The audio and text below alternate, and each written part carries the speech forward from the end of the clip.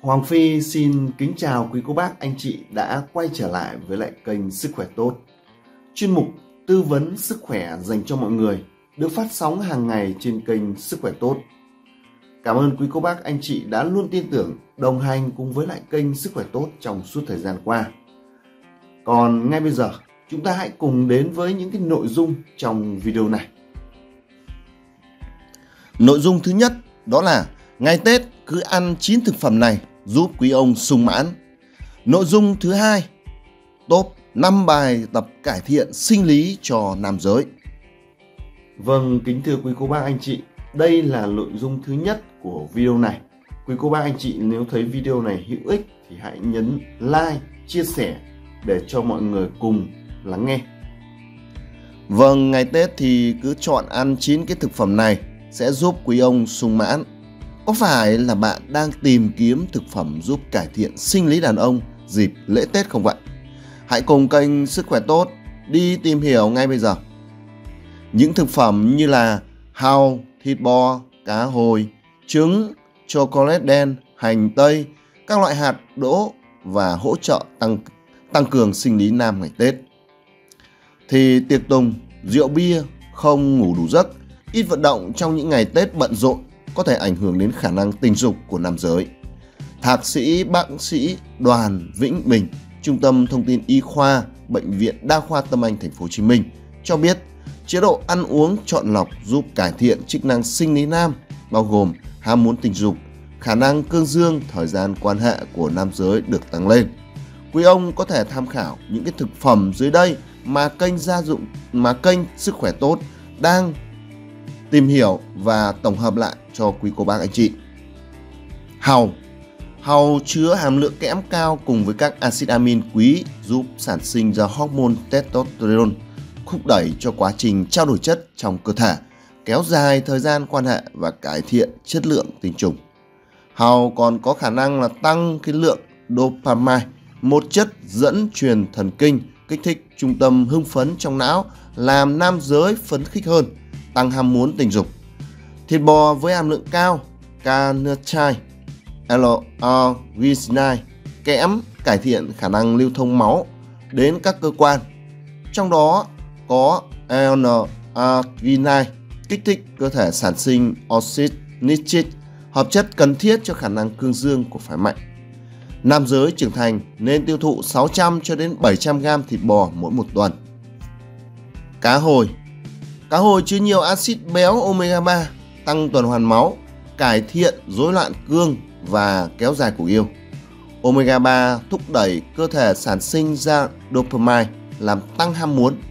Cá hồi còn chứa nhiều selen, giúp tăng số lượng và khả năng vận động của tinh trùng.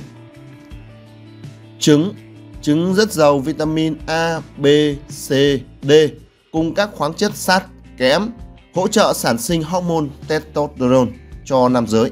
Trứng cũng giàu vitamin E, chất chống oxy hóa, góp phần bảo vệ tinh trùng khỏi sự tấn công của gốc tự do. Hành tây Hành tây có thể khiến kích thích cơ thể sản sinh ra testosterone khi mà ăn nhiều. Hành tây còn hỗ trợ sản xuất ra hồng cầu, giảm huyết khối và tăng lưu lượng máu. Nhờ đó có thể cải thiện tình trạng rối loạn cương ở nam giới.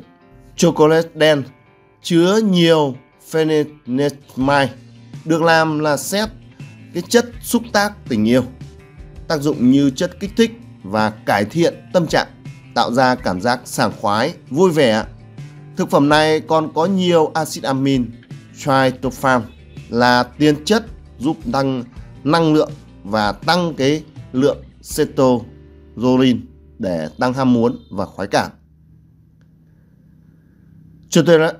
Chocolate đen còn chứa hàm lượng chất chống oxy hóa và caffeine, góp phần bảo vệ mạch máu và tinh trùng, gia tăng lưu thông máu, hỗ trợ quá trình cương dương.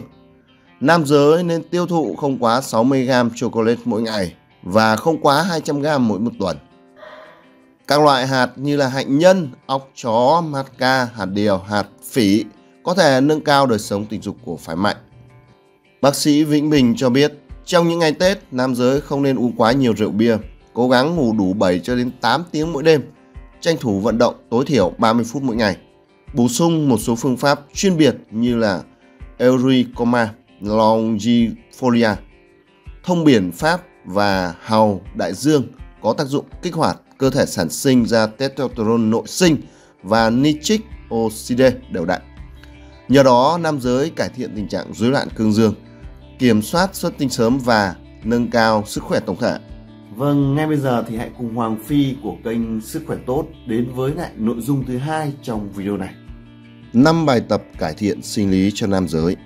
Phái lạnh thì tập tạ hay là chạy bộ, yoga, squat hoặc là Kegel thường xuyên có thể tăng cường khả năng sinh sản. Nghiên cứu năm 2019 của trường Y tế Công cộng Harvard TH Chan, Mỹ, Đại học Khoa học và Công nghệ Hoa Trung của Trung Quốc cho thấy nam giới tập thể dục cường độ cao thường xuyên có thể là tăng khả năng di chuyển của tinh trùng, tốt hơn cho người ít tập thể dục. Các nhà khoa học khuyến nghị phái mạnh nên vận động cơ thể mỗi ngày để cải thiện sức khỏe sinh sản. Dưới đây là những cái bài tập hỗ trợ cải thiện chất lượng tình mình. Nghiên cứu năm 2013 của trường đại học Calcutta của Ấn Độ chứng minh nam giới tập yoga không chỉ tăng cường sức khỏe nam giới, sức khỏe sinh sản mà còn điều hòa ham muốn tình dục ở những người sống độc thân. Theo các chuyên gia khoa học, yoga có thể ngăn ngừa các rối loạn tuyến tiền huyệt và giảm kích thước phi đại. Tập yoga thường xuyên cũng có thể làm giảm mức độ căng thẳng và lo lắng, cải thiện sức khỏe tổng thể của cơ quan sinh sản. Squat Squat là bài tập tốt cho phái mạnh nhờ khả năng hỗ trợ xây dựng cơ bắp, tăng cường thể lực và tăng mức hormone testosterone.